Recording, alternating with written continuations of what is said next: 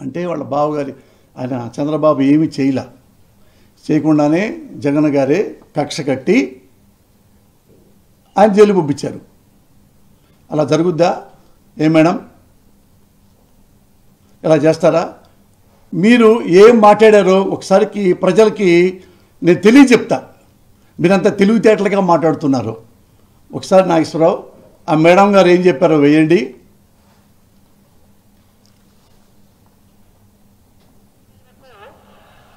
Skill development కార్యక్రమంలో అవినీతి జరిగిందని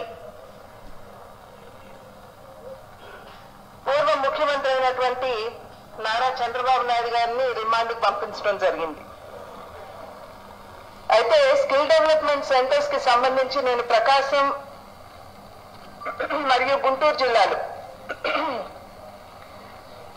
అక్కడ మాట్లాడి వాకప్ చేసినటువంటి సందర్భంలో అంటే అసలు స్కిల్ డెవలప్మెంట్ సెంటర్స్ ఎలా ఉన్నాయి ఏంటి అనే విషయాన్ని అర్థం చేసుకోవడానికి నేను కొంచెం వాకప్ చేసినప్పుడు దగ్గర దగ్గర ఒక వంద కంప్యూటర్లు ప్రతి సెంటర్లో ఇచ్చారని అదేవిధంగా జర్మనీ నుండి తీసుకొచ్చినటువంటి సాఫ్ట్వేర్ని అప్లోడ్ చేశారని అక్కడ కొంచెం బల్లలు కుర్చీలు కూడా సమకూర్చారని స్టూడెంట్స్కి.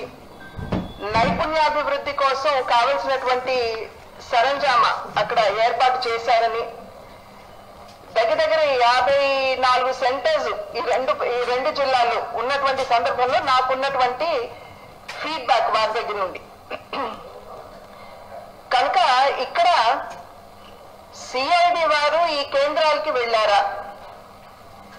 ఈ కేంద్రాలని సందర్శించడం కానీ వారిని వాకప్ చేయడం కానీ ఇన్వెస్టిగేట్ చేయడం కానీ చేశారా అనేటువంటి అనుమానం ఖచ్చితంగా ప్రజల మనసుల్లో కలగక మానదు. అయితే అవినీతి పెద్దదైనా చిన్నదైనా అది సమర్థనీయం కాదు అనేది నా అభిప్రాయం. రాష్ట్రంలో యథేచ్ఛగా కొనసాగుతున్నటువంటి అవినీతి ప్రక్రియ ఏదైతే ఉందో దాని గురించి ప్రస్తావించడానికి నేను ఇక్కడికి మీ ముందుకు రావడం జరిగింది. ఈ యొక్క అవినీతి భాగవతానికి కర్త కర్మ క్రియ కూడా అధికార పార్టీనేనని చెప్పి చెప్పడానికి ఎటువంటి సంకోచం లేదు. మద్యాన్ని ప్రజలకి స్థాపించి వారి మరణానికి కారణం అవుతూ నేను అన్నట్లుగా శవాల మీద పేలాలు ఏర్పాటు. ఇల్లు నాశనమైన కుటుంబాలు నాశనమైనా పర్వాలేదు మహిళల పుస్తకం తగ్గినా పర్వాలేదు బిడ్డలు అనాథలైనా పర్వాలేదు అని చెప్పి అనుకుంటున్నారు ఆ మద్యం ద్వారా వారి జేబులు నింపుకుంటుంది చీప్ లిక్కర్ ప్రజలకు ఇచ్చి ఇవాళ సొమ్ము చేసుకోవడం అనేది ఇది సమర్థనీయం కాదు ఎవరు కూడా సమర్థించి ఖచ్చితంగా నేను చేస్తాను అంటే మేడం గారు ఏమంటున్నారంటే వైఎస్ఆర్ ఈ ప్రభుత్వం ఉంది కదా అక్కడే అవినీతి ఉంది. మా బంధువు బాబు గారి మీద ఏమి లేదు. అంతా క్రిస్టల్ క్లియర్గా ఉంది.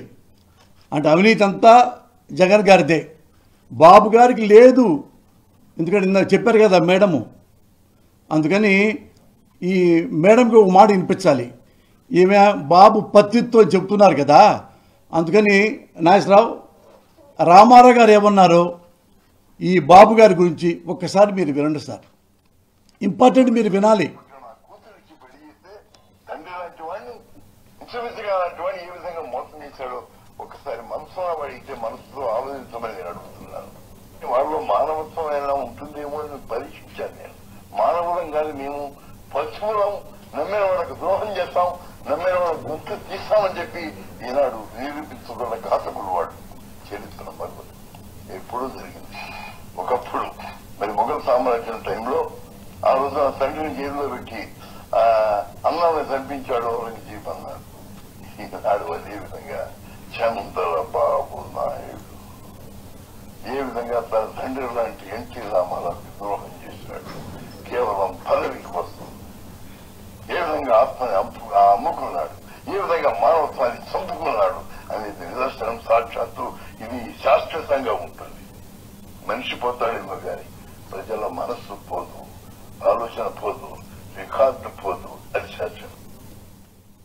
ఇప్పుడు దగ్గుపాటి గారు చివరి ఏం జరిగింది బంధుకు పిలిపించాం మేము బంధుకు పిలిపిస్తే బంధు ఇరవై ఆరు విద్యార్థి యువజన సంఘాలు నక్సలైట్ల దగ్గర నుంచి అన్ని సంఘాలు కూడా ఉన్నాయి. అందరం అందరూ కలిపి బంధు బంధిస్తే సైలెంట్ ఎంటైర్ స్టేట్లో ఏ ఒక్క ఇన్సిడెంట్ అయితే మేము చెప్పాను ఒక్క ఇన్సిడెంట్ కూడా జరగదు. ఒక్క బస్ అర్థం కూడా పాల్గొనకూడదు ఒక్క దుకాణం కూడా మీరు వెళ్ళి కర్ర చూపించకూడదు. వాళ్ళందరూ వాళ్ళు బంద్ చేసేటట్లుగానే మనం బిహేవ్ చేద్దాం అని నేను మొత్తానికి నేనే అధ్యక్షత ఉండి డిక్లేర్ చేశాం. బంద్ సక్సెస్ఫుల్. రెండో రోజు పార్టీ ఆఫీస్లో మీటింగ్.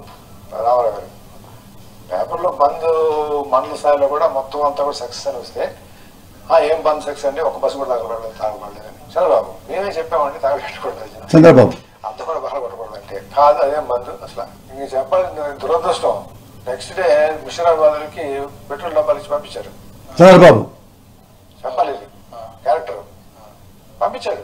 వారానికి నెల రోజులకి పది రోజులు పది రోజులకి రాసారు దానికి విరుద్ధంగా ఇవన్నీ కార్యక్రమాలు నేను చేసేవాడిని. అంటే పొలిటికల్ పార్టీ అంటే అది అనేటటువంటి ఆయన సిద్ధాంతం ఉంది బాబు గారి సిద్ధాంతం और ये पोलावरम प्रोजेक्ट किसानों के लिए जिंदगी और मृत्यु का विषय है खेत के लिए पानी का विषय है माताओं बहनों के लिए पीने के पानी का विषय है लेकिन ये यूटन बाबू के लिए ये टीडीपी के लिए ये पोलावरम प्रोजेक्ट एटीएम है एटीएम उसमें से निकालो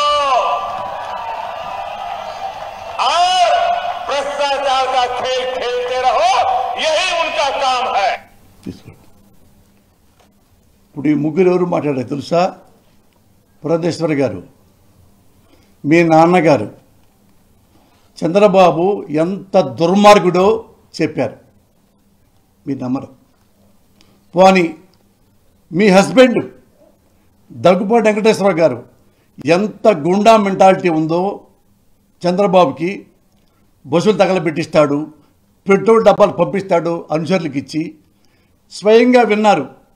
మీరు నమ్మరు. మళ్ళా లేటెస్ట్గా మీకు ఒక కొత్త నాయకుడు వచ్చాడు.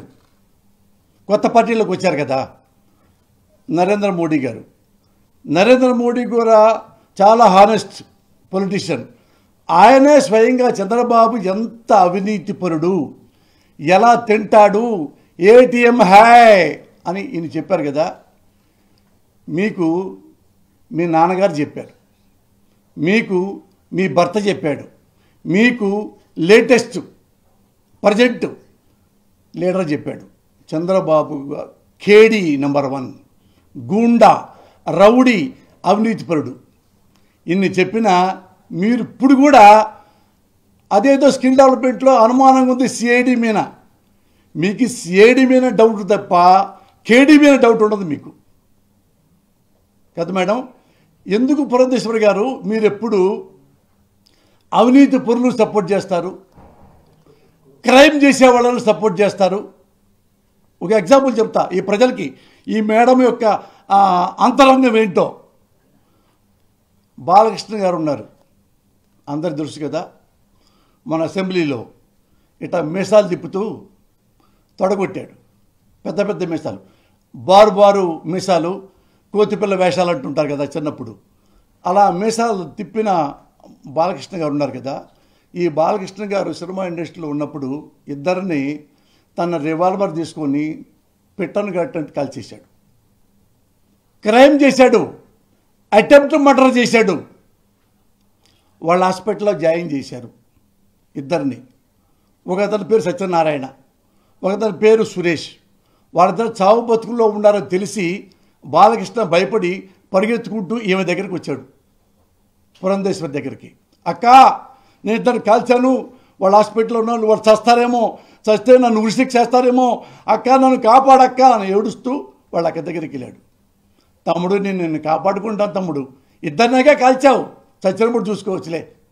కాదక్క చస్తారక్క సరే నేను వెళ్తాలే ఉండు అని ఆపి తను తను భర్తను తీసుకొని దగ్గుపాటి వెంకటేశ్వరరావుని వైఎస్ రాజశేఖర రెడ్డి గారి ఇంటికి వచ్చింది.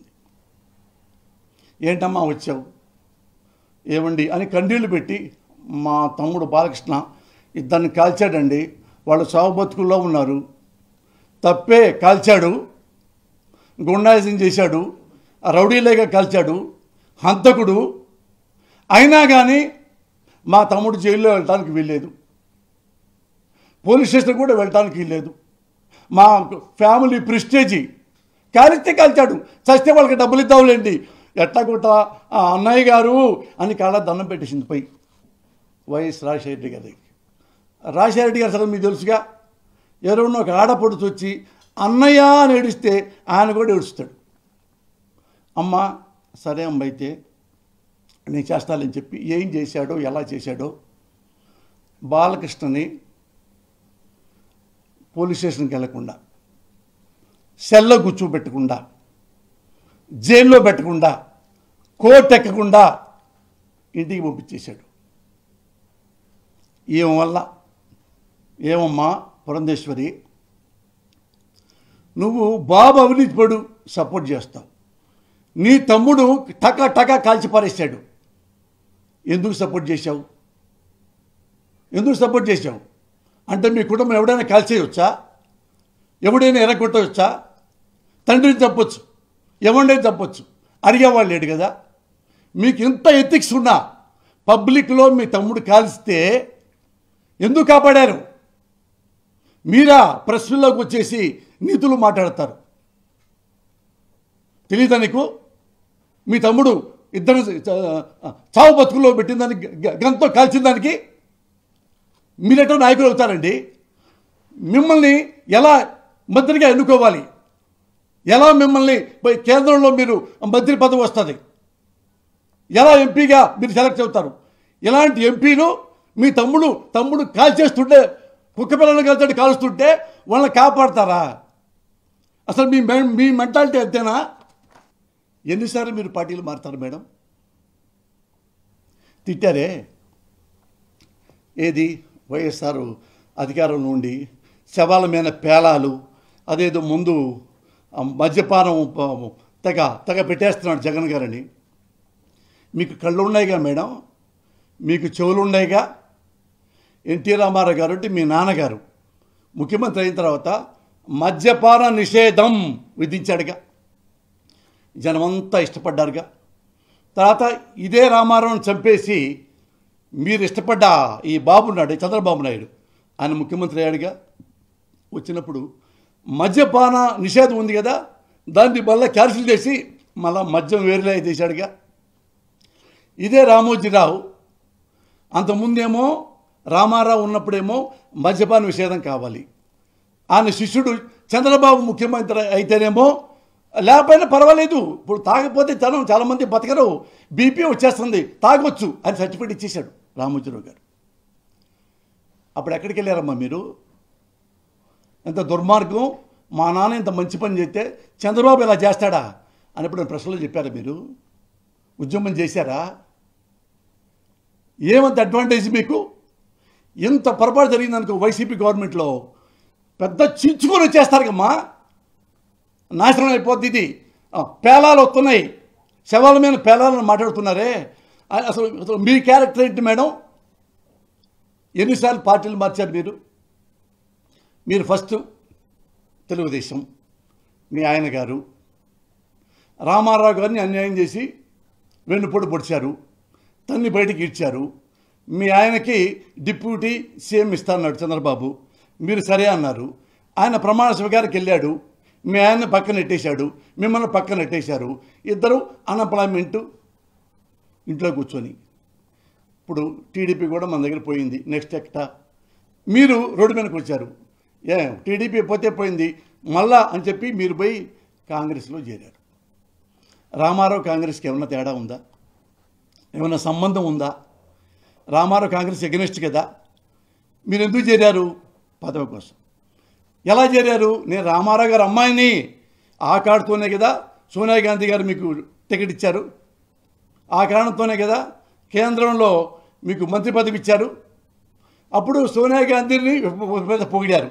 కాంగ్రెస్ జై సోనియా జై రాహుల్ జై రాజీవ్ జై ఇందిరా జై. మళ్ళా ఎలక్షన్లు వచ్చినాయి. కాంగ్రెస్ ఓడిపోయింది. ఓడిపోగానే ఈమెకు మళ్ళీ అన్ఎంప్లాయ్మెంట్. పురంధేశ్వర్ గారికి. ఇప్పుడు కాంగ్రెస్ నై సోనియా నై రాహుల్ నై రాజీవ్ నై ఇందిరా నై. ఇప్పుడు కహా హై? మళ్ళీ రోడ్డు మీదకి వచ్చారు. మళ్ళీ ఎత్తుక్కున్నారు. మళ్ళీ కొత్తగా వచ్చింది బీజేపీ కనపడింది. మళ్ళీ బీజేపీ హై అచ్చా హై? మళ్ళీ మోడీని మోడీని పొగిడారు. పొగిడితే మీకేమిచ్చారు? బీజేపీ అధ్యక్ష పదవి. ఎన్నిసార్లు పార్టీలు మారుతారు? ఇన్ కేసు పొరపాటున ఇప్పుడు రాబోయే ఎలక్షన్లో బీజేపీ మళ్ళా ఓడిపోయిందనుకోండి బీజేపీ నై ఆయన ఎవరు? మోడీ నై అమిత్ షా నై సోమరావు వీర్రాజు నై మళ్ళీ కాంగ్రెస్ హై సోనియా జై రాహుల్ జై. ఇదే కదా మీ క్యారెక్టర్. ఎన్నిసార్లు పార్టీ మారుతారు? ఇప్పుడు నిజాయితీగా బీజేపీలోకి వచ్చారు. అంటే బీజేపీకి బీజేపీకి అంతకుముందు మీరున్న కాంగ్రెస్కి అసలు ఏమన్నా సిద్ధాంతం? ఒక పాలసీ.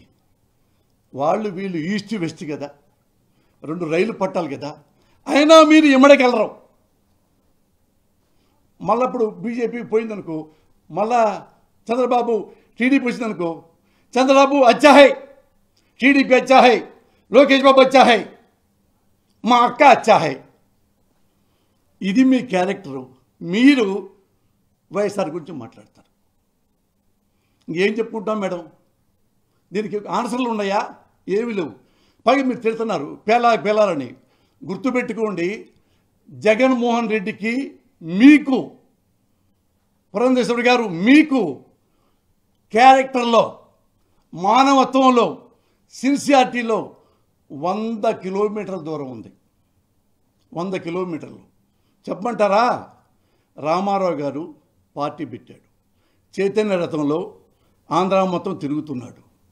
ఆయనకి షుగర్ ఆరోగ్య సమస్యలు. ఆయన ఒంటిగా తిరుగుతున్నాడు. రోడ్డు పక్కనే స్నానం చేస్తున్నాడు. చెట్టు కింద నిద్రపోతున్నాడు. ఓన్లీ లుంగి కట్టుకొని చెట్టు కింద అన్నం తింటున్నాడు. అక్కడే ముందు వేసుకుంటున్నాడు. తొమ్మిది నెలలు తిరిగారు. ఈ తొమ్మిది నెలలు రామారావు గారు తిరుగుతుంటే అనారోగ్యంతో షుగర్తో ఇంతమంది మీ కుటుంబ సభ్యులు ఉన్నారు కదా. ఒక్కళ్ళన్నా రామారావు దగ్గరికి వచ్చి నాన్నా నీ ఆరోగ్యం ఎలా ఉంది? అన్న ఒక కూతురు అన్న ఒక కొడుకన్న. మొత్తం గుంపులు గుంపులుగా వచ్చి రామారావు పక్కన నుంచొని నాన్న మేము ఉన్నాం. ఒకళ్ళన్నారా మీకు టీడీపీకి సంబంధమే లేదు. రామారావు గెలిస్తే గెలిచాడు పోతే పోతాడు. చంద్రబాబు చెప్పాడు కదా రామారావు గెలవడా? చెప్పాడు కదా వెళ్ళిపోయారు. ఎవ్వరు రాలా. ఆయన దగ్గర ఎవరున్నారు పాపం? జస్టిస్ చలమేశ్వర గారు అప్పట్లో ఆయన ఉన్నాడు. పర్వతనేని ఉపేంద్ర ఆయన ఉన్నాడు. ఈనాడులో భాస్కర్ అని రిపోర్టర్ ఆయన ఉన్నాడు డ్రైవర్. వీళ్ళే పాప ఆయనకి. ఆయన స్నానం చేసుకొని నడవలేక నడిచి మళ్ళా గెలిచారు.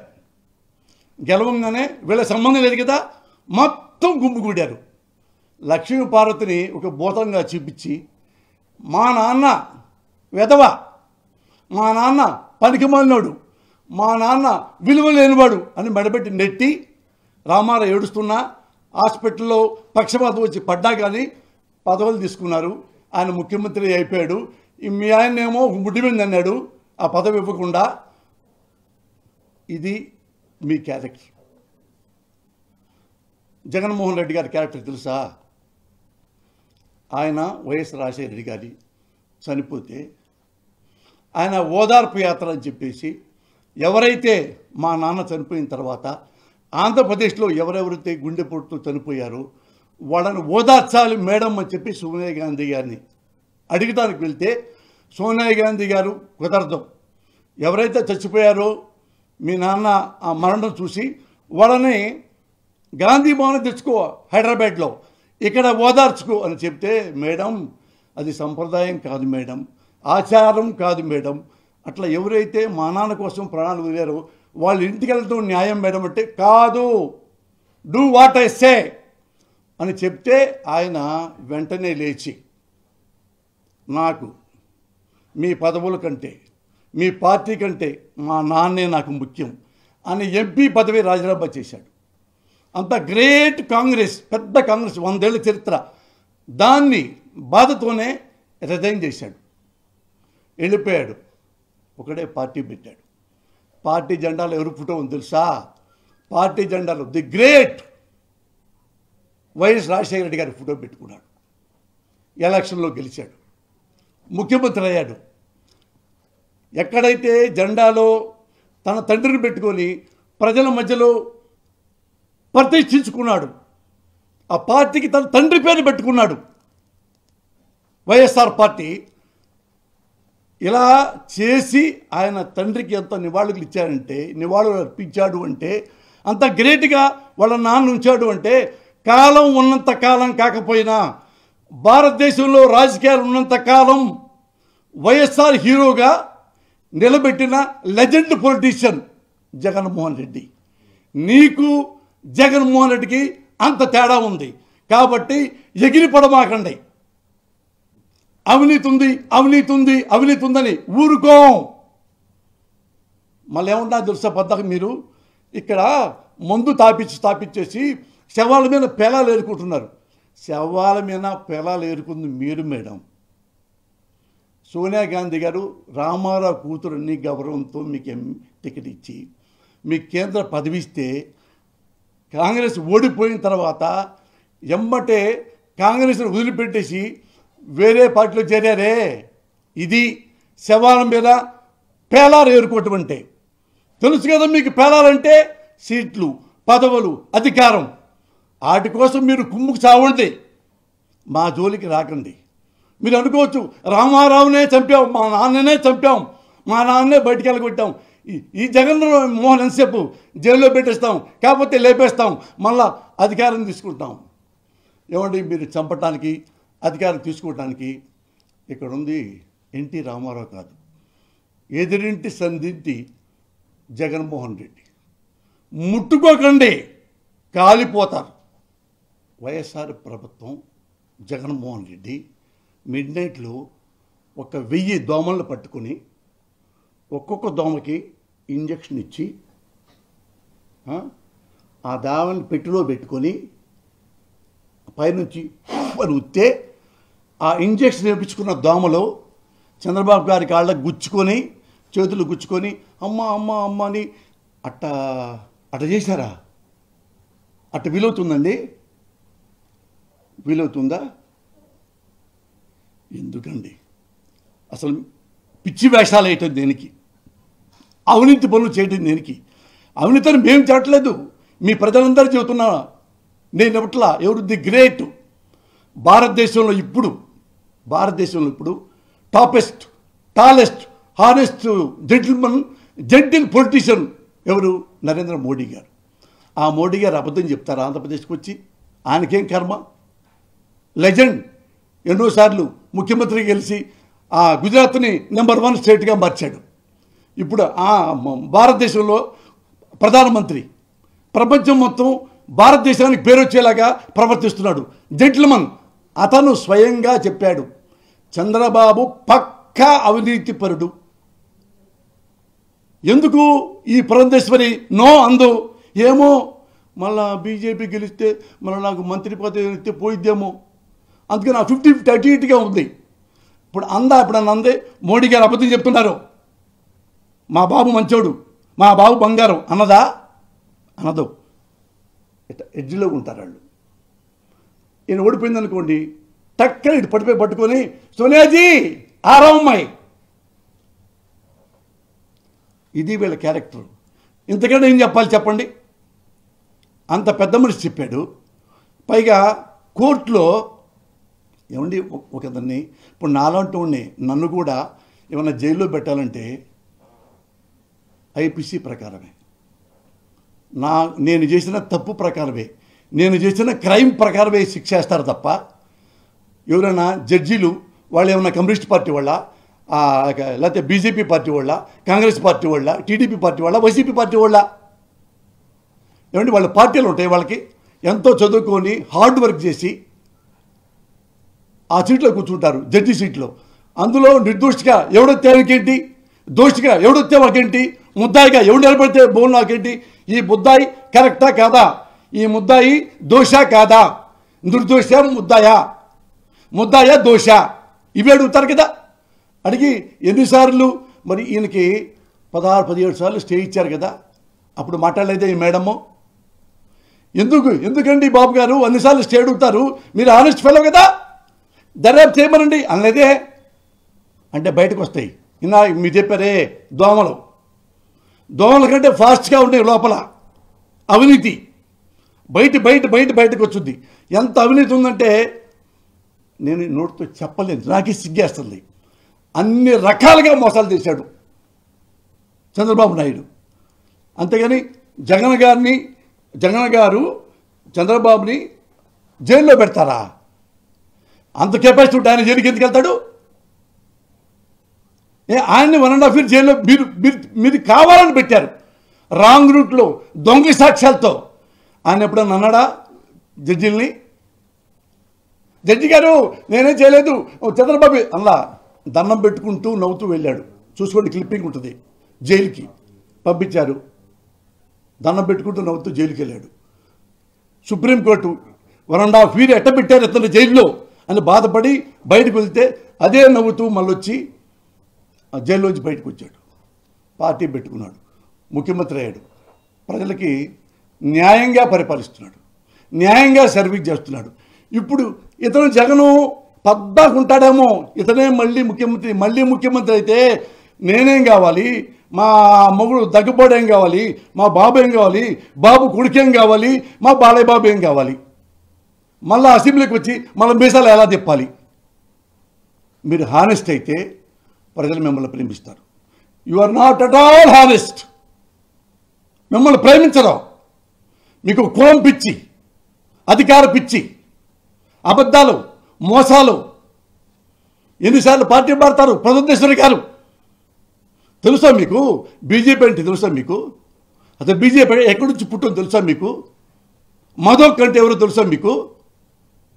మధోక్ తెలుసుగా? ఒక క్లూ ఇస్తా జనసంఘ్.